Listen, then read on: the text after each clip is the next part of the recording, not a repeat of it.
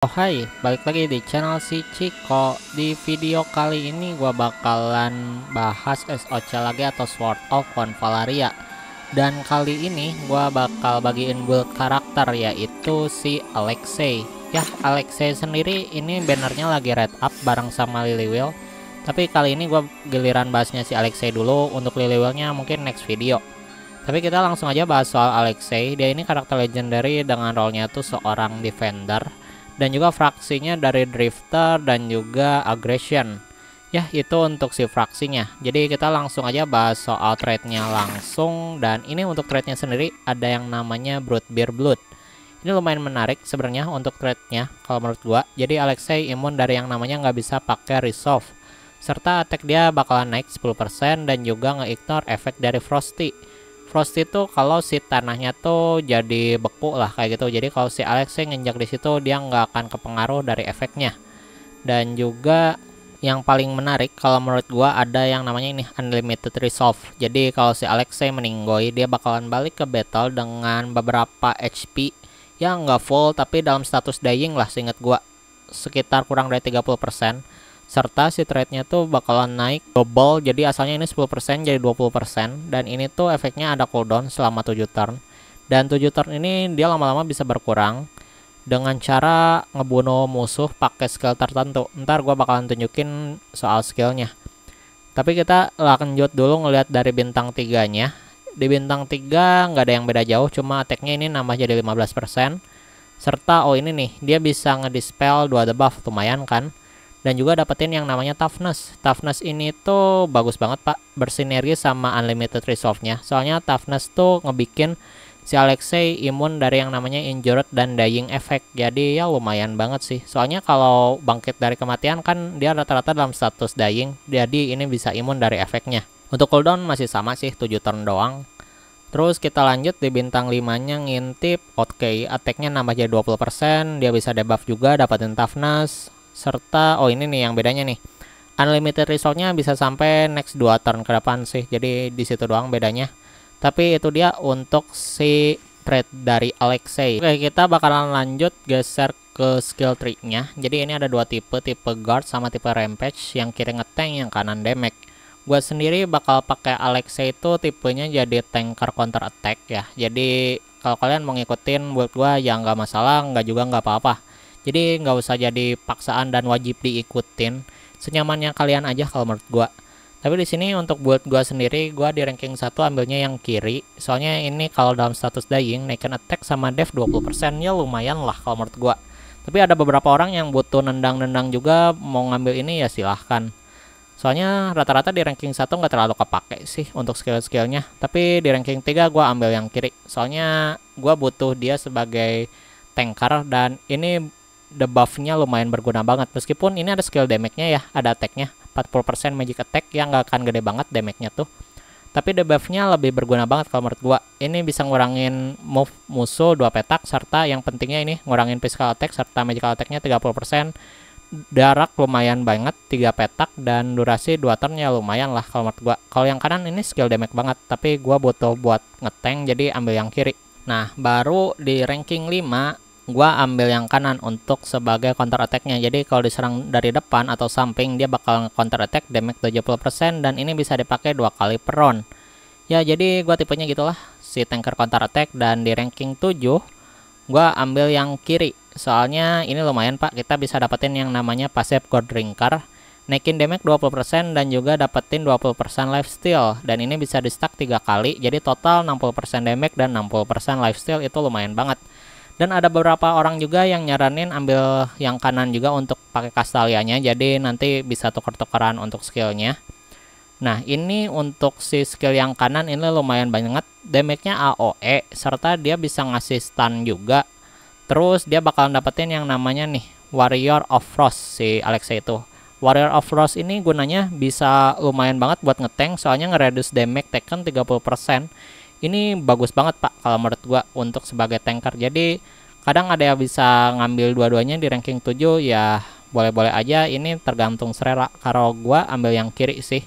Soalnya gua butuh si lifestealnya ya at least kalau jauh dari healer dia bisa ngeheal sendiri ngegunain si lifestealnya sih. Nah di ranking 9 untuk basic attack modifikasinya gua ambil yang kanan. Sebenarnya nggak ada yang menarik untuk ranking 9 ini tuh. Cuma yang efeknya lebih berguna kalau menurut gua kayaknya yang kanan sih ini bisa nge-recovery satu NRJ doang damage 110% dah gitu doang nggak ada yang aneh-aneh. Tapi yang kiri tambah nggak banget sih damage cuma 100% dan bisa ngasih debuff move satu doang nih ngurangin satu petak. Dah gitu doang. Jadi better ambil yang kanan sih kalau menurut gua. Nah baru di ranking 11 kalau gua nih ini ada yang kiri itu sebenarnya ngeteng banget kan ya jadi samsak lah pasang badan buat temen. Tapi gua bakal ambil yang kanan jelas kalau untuk ranking 11 soalnya ini berpengaruh sama si counter attacknya dia untuk si counter attack petaknya bakal naik jadi dua petak jarak serangannya. Terus damage-nya naik dari 85% serta untuk jatah counter attack-nya nambah satu. Jadi asalnya dua jadi tiga, lumayan sih. Dan ini durasinya sampai 2 turn. Ya lumayan banget untuk si counter attack-nya. Jadi itu dia untuk skill tree dari Alexei versi gua. Jadi di ranking 1 gua ambil kiri, ranking 3 kiri, ranking 5 kanan, ranking 7 gua ambil kiri duluan. Nextnya mungkin ranking 7 yang kanan juga gua ambil, tapi ranking 9 gua ambil yang kanan dan ranking 11 gua ambil yang kanan. Jadi itu dia untuk build Alexei versi gua dari skill tree-nya. Dan skill setnya yang gua pakai ya ini nih. Untuk basic attack pakai frenzy slash yang tadi, terus reactionnya brood bear counter. Nah ini nih kalau kalian misalnya tuh nggak pakai yang AOE tadi yang ranking 7 yang kanan, kalian ambilnya ini nih. Ini skill yang bawaan dari sana dari pertama Whirlwind White, Whirlwind X. Ini yang gunanya bisa ngurangin cooldown rate-nya dia. Soalnya bisa berkurang satu turn. Ya dari skill ini nih. Tapi kalau kalian yang ranking 7 ambil yang kanan juga kalian bisa gantiin skill Warwin X ini sama skill yang tadi di ranking 7 yang kanan yang AOE itu bagus juga. Jadi nanti gantinya yang ini nih. Dan terus sisanya gua pakai well hole sama god drinker jadi itu dia untuk skill setnya dari Alexei kita bakal lanjut ke bahas soal weapon dan tarotnya juga serta engraving. Kalau sekarang kita bahas engraving sih soalnya fiturnya udah ada. Jadi untuk si weapon gua pakainya ini brutal X. Ini naikin HP 3% ya lumayan dan nge-ignore 20% target dev kalau HP nya lebih tinggi. Ya sebenarnya nggak banget sih untuk si skillnya. Cuma yang gue incar HP nya nambah 3% opsi bisa pakai cornucopia X sebenarnya untuk ngincar ini kalau dalam dying ada chance 40% buat nge-recovery 30% HP ya ini sebagai opsi tapi gua better ambil yang brutal X sih. Nah baru di si trinket atau armornya gua ambil crystal burst armor soalnya gua main kan tanker counter attack ya. Ini naikin HP 2% jadi total sama yang barusan 5% tapi yang gue incar ininya nih strike back dealnya nambah 10% more damage ini berguna banget pak kalau menurut gua sebagai tipe yang counter attack Lanjut soal tarotnya, tarotnya gue ambil Destruction of the Tower, soalnya kalau bukan gilirannya dia, damage-nya naik 20% dan counter attack itu tuh nggak termasuk dalam hitungan turnnya dia. Jadi di luar turnnya si karakter, jadi damage nambah 20% lumayan lah. Oh ya untuk si stat-statnya kalau bisa untuk ngetank ambilnya dev, dev, HP lah kayak gitu. Soalnya ini gue jelek banget pak, oke lah dev sama SP tapi ini angka mentah. Kalau bisa sih persen. Soalnya late game kita butuhnya persen bukan angka mutlak kayak gini. Itu untuk tarotnya. Dan lanjut soal engraving kalau sekarang. Nah engraving sendiri gua pakainya pentacle sama pentacle dua-duanya. Soalnya sebagai tank ini lumayan banget pak. Jadi kalau kita dalam keadaan injured ini bakal naikin damage 5% dan juga decrease damage taken 5% ya lumayan lah damage yang diterima berkurang 5%. Kalau dalam status dying, naikin damage 10% dan juga ngurangin damage yang diterima 10%. Jadi nyambung lah si ini tuh lumayan bisa ngurangin damage itu bagus juga. Ada opsi lain sebenarnya kalian bisa pakai sword sama one itu bisa nambahin damage kalau tergantung petak yang kalian lalui maksimal 12% seingat gua. Tapi ya itu opsinya. Jadi bisa pakai pentacle pentacle atau sword sama one. Jadi tergantung lah kalian dapatnya apaan yang statnya bagus aja kalau menurut gua. Soalnya ini gua sendiri dapatnya lumayan lah. Physical depth magic depth persen juga. Tapi yang ini jelek sih. Kalau bisa kalau mau jadi tank ya HP kalau nggak depth sih untuk si statnya jadi itu dia untuk si segi gear dan tarotnya. Jadi kita bakal langsung cobain ke battlenya aja sih demo battlenya untuk si Alexei sendiri. Oke di sini gua ada contoh battlenya. Kita cobain aja nih. Alexei sendiri aja deh. Harusnya kuat dah Soalnya levelnya juga nggak beda jauh. Di sini kita bakalan cobain pakai yang namanya nih si hole-nya dia. Ini lumayan bisa ngasih debuff ke musuh. Kita lihat nih musuhnya kan nggak ada debuff debuff ya. Kita pakai si hole-nya dia. Ini lumayan. Keluar. Berubah tuh jadi beruang. Dan itu bakal ngasih debuff ke musuh. Nah di sini kita bakal tunjukin dia counter attack-nya tuh. Mainnya gitu aja sih main counter-counter. Oh ya bentar nih gua kasih lihat nih. Damage-nya berkurang 30%, magic damage 30% dan juga reduce movement 2 petak.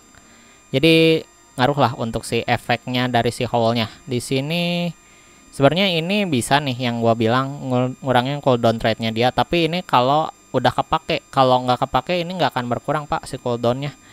Jadi harus nunggu kepake dulu jadi di sini gue pakai cobain basic attack-nya biasa. Ini harusnya recovery satu NRJ sih. Nah ini ngebunuh nge-recovery satu NRJ harusnya. Tapi turn gini nge-recovery juga sih. Nah itu mainnya counter attack gitu doang. Oh full kan? Di sini kita nunggu aja mainnya. Nunggu ngontar-ngontar aja tuh.